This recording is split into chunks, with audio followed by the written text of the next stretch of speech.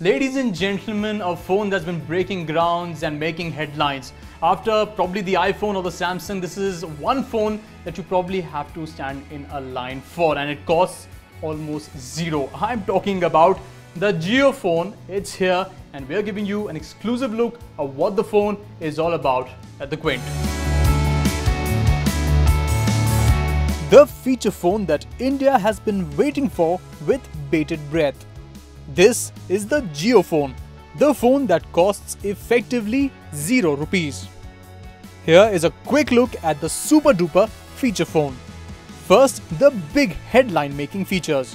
The JioPhone supports voice assistants which you can use to open applications, call someone and much more. The phone supports NFC payments and you can also connect the JioPhone to any TV via the Jio media cable to view content on the big screen.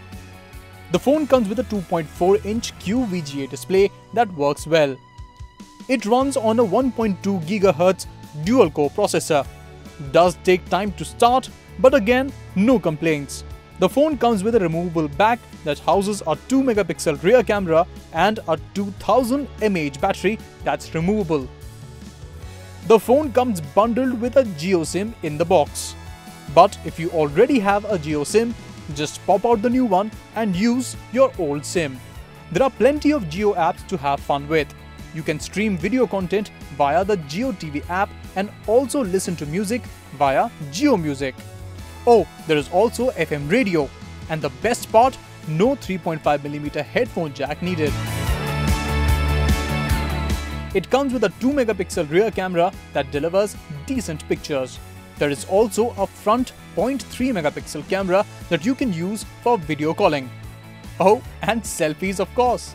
Adding the torch was a really bright idea. The single SIM phone comes with expandable memory and supports more than 22 Indian languages. With deliveries already underway for the ones who have booked the JioPhone, they can expect the phone to reach them in the next couple of days.